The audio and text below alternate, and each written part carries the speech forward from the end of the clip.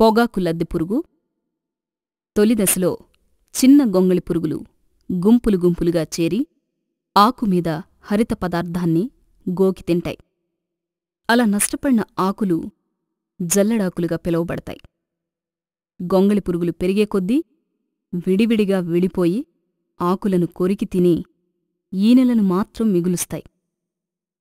పైరు మలిదశలో పూత మొగ్గలు పువ్వులు కాయలను ఆశించి లోపలి పదార్థాన్ని తిని నష్టపరుస్తాయి.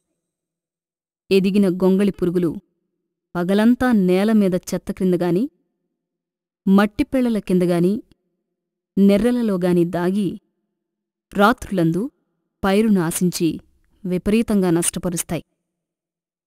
దీని ఉధృతి ఎక్కువగా ఉన్నప్పుడు ఈనెలు మాత్రమే మిగిలి పైరులో పూత మొగ్గ కూడా ఏర్పడక విపరీతంగా నష్టం కలుగుతుంది.